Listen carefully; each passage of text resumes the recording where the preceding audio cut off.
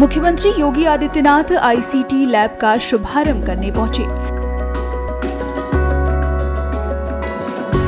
इस दौरान उन्होंने स्कूल के बच्चों से मुलाकात की और उनके बनाए मॉडल्स भी देखे।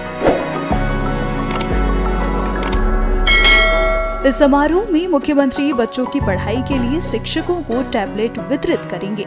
साथ ही स्मार्ट क्लास की स्थापना का शुभारंभ करेंगे।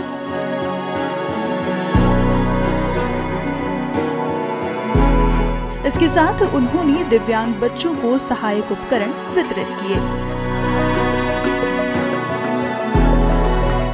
इसके अलावा आंगनबाड़ी केंद्र पहुंचकर उन्होंने नन्हे मुन्ने बच्चों को गोद में लेकर उनका दुलार भी किया।